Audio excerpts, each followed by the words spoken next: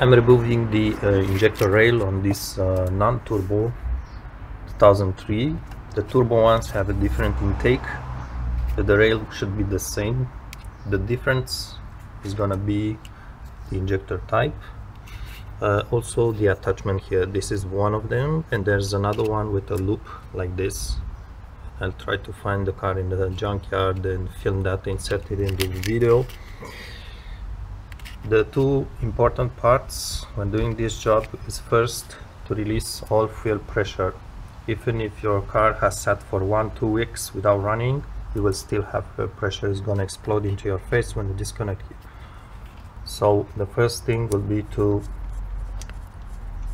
it may be a different location just to depress the actual valve. The second thing is to clean the area very nicely the uh, injector seals need to be perfectly clean. We are going to grease them with Vaseline. That's a very important part too. But they need to be really dust free any tiny dust speck that will stay into the uh, into the seal that will just cause a leak. So that's critical. So I would recommend doing this on in summertime and maybe get a water hose and spray here where the injector sits in there. There's a small gap clean nicely put some water on it not on the wires but on the ejectors there and make sure it's clean. And when you place it back crystal clean all the rubbers or the gaskets inside there around there crystal clean. Make sure you use some quality gloves. It's not good to keep the uh, gasoline on your hands. Also I keep my car outside the outside the garage because we will have Vaseline leaking. And I don't want to have it smell inside the garage but I don't want to smell it heavy smelling during the job. Is gonna be right in your noise here. Is very uh, very uh, annoying and very unpleasant. So I will just once I free the uh, gasoline from the rail I will just spray some water around to clean it and then I will keep doing the job again before starting the job don't forget to buy this. Do not in any situation do not try to put back the uh, injector o-rings without having them greased with Vaseline. Same for if you have this sensor if you disconnect him and everything a rubber a gasket or ring you put back smear with gasoline in and out. Otherwise you will break it you will chip it and it's gonna start to leak it's not always necessary to replace the o-rings. Uh, mine are uh, 15 years old. I didn't replace them and they didn't leak. But it's up to you if you want to. First step to release the uh, gas. I will just cover it with some uh, plastic here and just press down with the screwdriver gently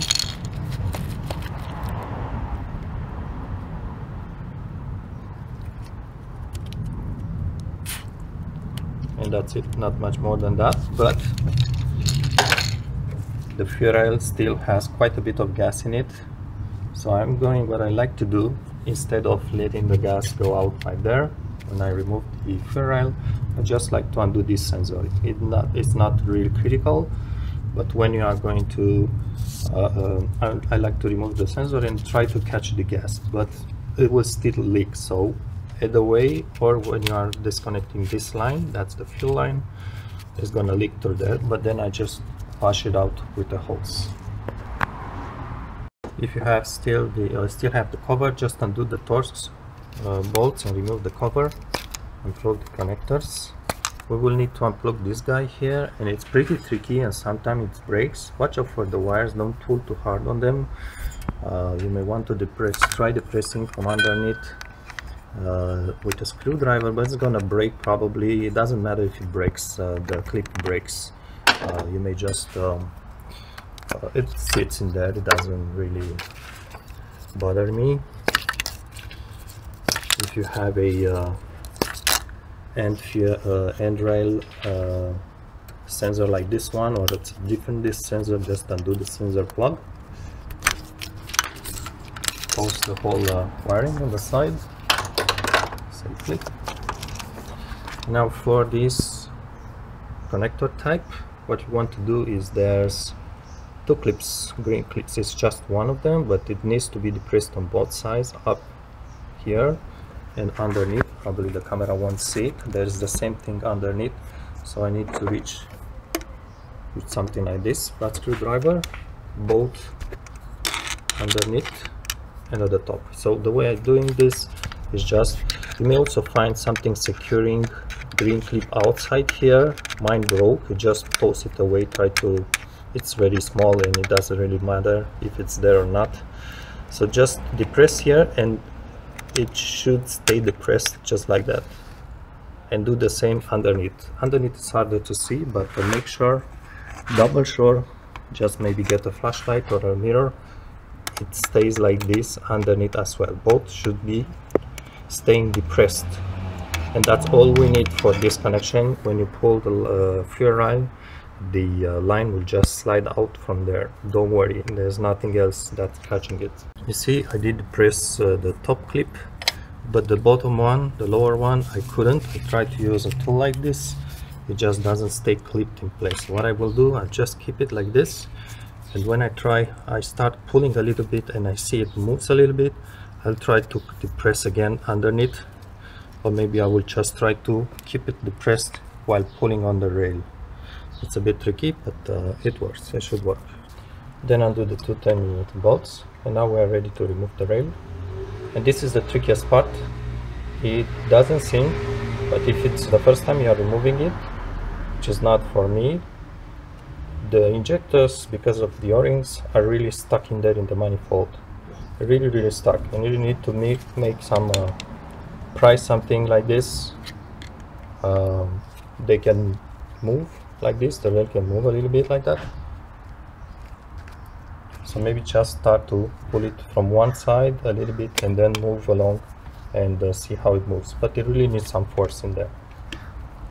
And at the same point don't forget to have these clips depressed actually like I said mine should be moving pretty easily. It's better not to pull it once just with a good with a big force just to try to remove it at once because the, the o-rings may be stuck in there you may lose them. So just try to do a movement like this back and forth just a little bit like that and start with one side. Again um, it seems stuck in uh, mine seems also stuck but it definitely is gonna be harder for you for the first time when you're doing it for the first time. So um, seems to be free on one side. One end here. Okay now it's free. I can see that the o-rings try to slip out. So now I don't want to force on the line. Let me just pull a little bit just like that I'll try to press again the clip underneath even with your fingers you can reach it.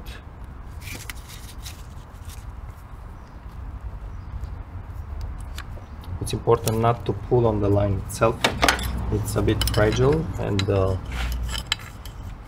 you don't want to um, cause any breakage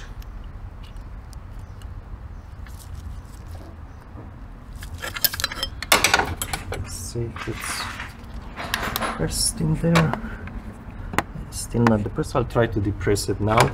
As I moved a little bit the rail away just a little bit I will try to depress again the clip underneath. Okay so I just cannot get the underneath part of the clip to stay depressed. Uh, keep in mind that this part with green clip will stay in place. It's really just the line that will slide out so I'm going to try to remove it like this see? Just watch the line. The line should be go back should be moving away from the rail a little bit you can see it. And just start pulling on the side like this. All right okay. So i get idea. Uh, now we're going to spill a little bit of gasoline. But if you lift it right away you can keep the gasoline inside the rail and just uh, dispose properly so um, yeah it seems like you just can't depress the top of the clip not the bottom. See how it looks. So probably if you depress only the top of it it's gonna be enough. But again uh, I'm just uh, just uh, not saying that's the way you should do it. And basically it's going it goes the same way. When you put it back in place you see you should see the top of the clip will just pop pop uh, back in place. When you install everything you see you need to see the clip popping back in place and that's secured. So I'm just draining a little bit the gasoline. As you can see there's quite a bit of malt uh, remaining inside the fuel. Rail so uh, you want to spill it on the floor and something like that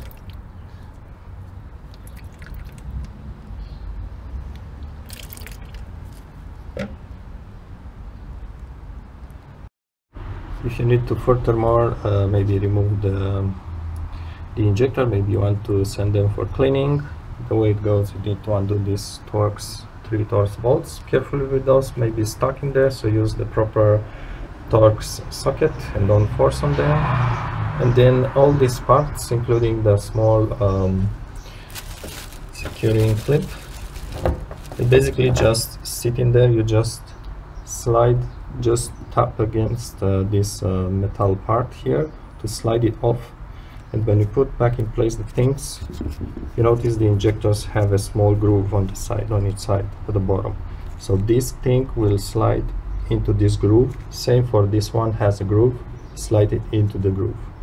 Again don't forget Vaseline for all the uh, o-rings and there's also an o-ring inside the clip.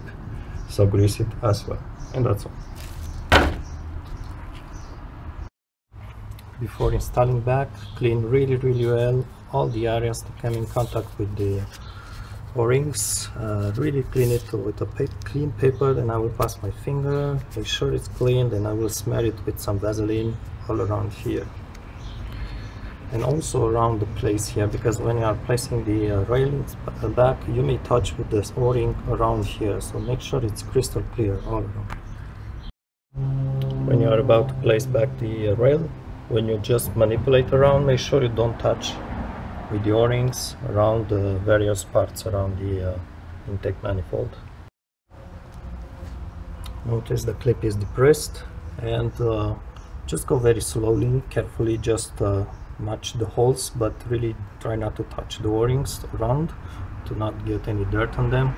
And uh, because of the Vaseline this will slide in very very easily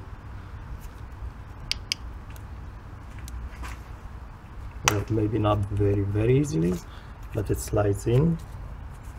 And what I want to do now what I like to do is just to try to without removing it from there just keeping a small movement like this. I want to move a little bit the uh, o-rings inside. So if there's any particle of dust or dirt I just want to move the o-ring to free it from that particle. Just a little bit in and out, in and out at all points here the injector have some play but the way they sit in there is just that you will be able to match the holes for the bolts. And don't forget at the very end to depress the clips here. To have them pop back in place. Maybe you want to push on the line a little bit or press downwards uh, at the bottom. So make sure the clip is back in its place and now it's secured this is the other type of connection. So that's much much easier. So just undo everything the bolts disconnect the wires. Pull remove it from there just force and just flip it over.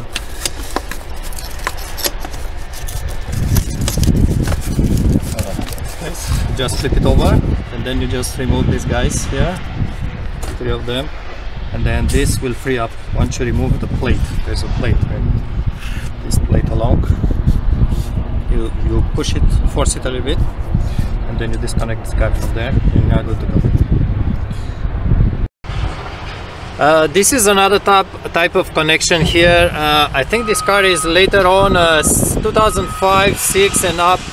Uh, this is the uh, sorry a lot of noise around here. This is the turbo engine but again I think it's the later years had kind of a screw connection uh, again don't forget to release the pressure. Even if you are in the junkyard I was just helping someone on the car on the junkyard here and he said no no no problem. And he got gasoline right into his eyes. So the pressure can stay there for weeks. And I have to say also there's another situation. When you just shut off the engine I will warmly recommend you not to disconnect this with the engine. Still warm just wait one day to cool it down because even if you release the pressure with the engine warm up the gasoline is still warm it's still expanding you will get pressure in there even if you just release it. So if you want to disconnect with a warm engine keep this keep this valve depressed.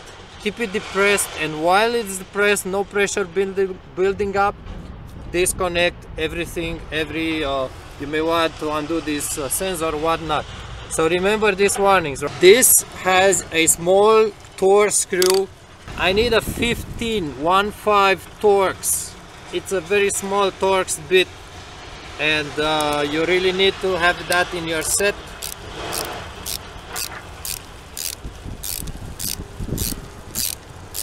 I can say it's a little bit tight because it's uh, rusted in there so don't try with anything else. Get a good bite a good good bit or uh, so that's the first step. You notice it's kind of hard to turn so you better use a wrench not a screwdriver or whatnot. Okay that's the one. Don't skip uh, don't lose this guy. Keep it on the side properly and then you notice there is a plastic clip here where the screw goes in and it has a side tab right on the right side as you look to the car. So that tab you can go either from underneath with your finger and just lift it like this. It locks underneath and with one hand and with the other hand just slide this clip from there. So basically it goes in there it has kind of two holes and it has this side clip and you notice it has a bump that's where it locks in. Just keep it lifted with one hand and then slide this guy from there. It should be easy to slide. It's just maybe there's dirt in there. Um, obviously when you place it back you notice there's another hole where the screw goes. So you just place it back like this and push to snap it in place just like that. Um, that's all. Basically that's everything you have to do. There's nothing else to do let me see if I can remove it. No, not now. But uh, once this is done all right so keep it uh, don't lose it it's important. Once this is done the line is free to move. This plastic part here stays with the rails it's connected to the rails. So again that's the clip that stays with the rail. Again the rail will have uh, one or two ounces of gasoline about 30 50 millimeters careful. Uh, this guy uh, maybe you can no just leave it there. And that's the fuel line.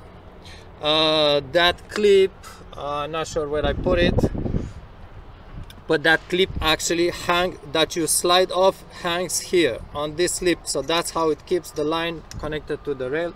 That's pretty much it guys. Uh, again gasoline smells uh, try to drain it first and not inside the garage again uh, watch your face use google and uh, that's uh, that should be it. Make sure you don't pull on this line. Sometimes it can break down there so be careful. Thanks for watching. Just uh, throwing in if you care watching uh, i try to clean the injectors. I think it's a good idea to try cleaning them at some point. I'm not saying this really works but it's just kind of may may help a little bit uh, improving a bit uh, mpg acceleration. Uh, this is what i use a hose i had to use a clamp. I really recommend you use Googles and the face mask. The reason for this is that the pressure from that tiny bottle uh, I use um, carburetor cleaner. Um, use only these things these types of carburetor cleaners do not use um, anything like uh, um, lacquer thinner or stuff like this. Um, no solvents nothing. This is uh, how I put the thing together. Use clamps to make sure you keep the pressure. It doesn't appear but there is really nice pressure in there. And my hose I didn't put that screw on it and it blew into my face and I bred that uh, that solvent. So it's not fun Google face mask stuff like this. Uh, then uh, I would recommend try most of the times I would really prefer uh, back washing it back uh, spraying into the injector. This is the end of the injector. I didn't remove the basket by the way and this cleans the basket as well. A downside with this uh, so right now the tube is connected to the uh, exit where the spray is actually into the car side uh, I do recommend you clean everything and you, you use a hose that's really really nice and clean inside because when you uh, clean it backwards you may just force debris inside through the nozzle of the injector. Even though it has very tiny holes in it it may force debris inside so you don't want but anyhow and this is just the normal flushing uh, forward flushing but I really prefer backwards. I don't know why. It kind of feels doing better uh, this is really if you want to try I'm not saying the results are great and stuff like this but it's just a fun thing to do